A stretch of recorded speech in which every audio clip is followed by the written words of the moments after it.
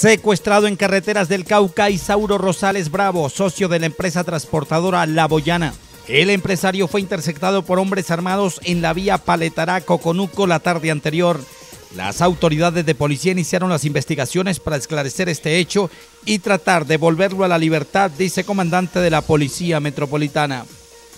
Iván Duque, candidato presidencial de visita en Popayán habló con los medios de comunicación de la ciudad sobre temas nacionales y sobre el compromiso con el departamento del Cauca.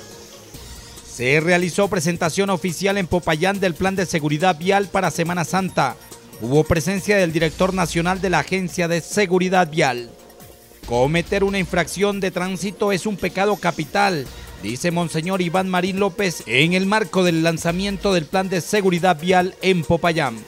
Comentaba que una vez hablando con el Papa Juan Pablo II, el Santo, y hablábamos sobre esto, la vida, no matarás.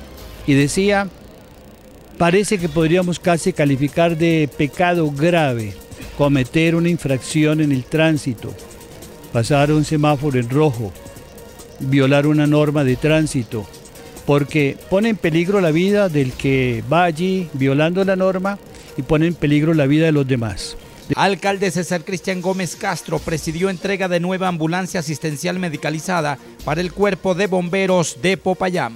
En completa normalidad transcurre Semana Santa en Popayán, dice comandante de la Policía Metropolitana Nelson Díaz.